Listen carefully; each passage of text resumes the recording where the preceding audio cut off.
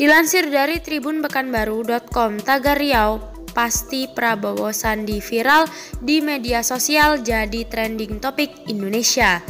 Tagar hashtag Riau pasti Prabowo Sandi yang viral di media sosial khususnya Twitter pada hari Rabu 20 Februari 2019.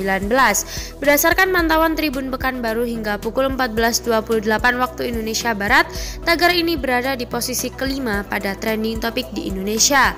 Ditelusuri lagi melalui laman Trends24, tagar hashtag Riau pasti Prabowo Sandi sudah menjadi perbincangan sejak 6 jam yang lalu hingga berita ini ditulis. Belum diketahui siapa yang mencetuskan tagar tersebut hingga menjadi viral dan masuk dalam trending topik di Twitter. Akun @rajapurwa menuliskan, "Yuk dukung tagar hashtag Riau pasti Prabowo Sandi." Menurut pengamatan Riau memang basis @prabowo @sandi Uno.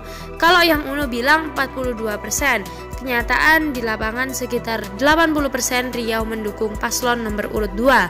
Riau berpihak kepada akal sehat. Kayaknya hanya pejabat yang bermasalah yang dukung yang ono. Prat of Riau. Cuitan ini pun mendapat banyak balasan komentar dari warganet lainnya.